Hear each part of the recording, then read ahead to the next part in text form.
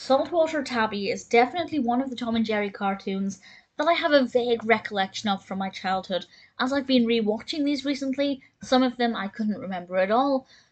With The Bodyguard, I remembered it very clearly, and Saltwater Tabby I kind of remembered bits of, and I can see why. I did genuinely enjoy it. This was released in 1947, directed, of course, by William Hanna and Joseph Barbera, and this is set at the beach.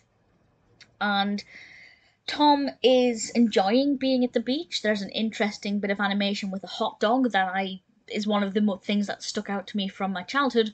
And there's this female cat, um, I believe it's meant to be Toots, and Tom is basically lounging over her and enjoying his day at the beach.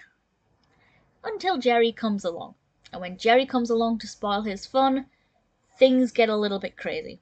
And of course, Tom gets increasingly wound up, and the more Tom gets wound up, the more Jerry fights back.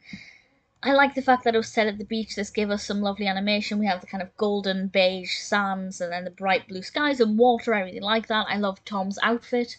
Um, he's wearing a, wearing a very seaside appropriate outfit that I rather enjoyed. And Toots is a wonderful character. Uh, I think she's she's a beautiful character who I really enjoyed in this. I liked her outfit. I loved her sunglasses. I never thought I'd be envious of the style of an animated cat, but there we go. It's a lot of fun. I don't want to go into too much more detail about what you can expect from it because obviously it's about six or seven minutes. But I think it worked well. We had enough time to set the scene with Tom enjoying the beach, and then eventually Jerry came along and caused havoc. Pacing really good. The narrative concept was really interesting. The execution was very good.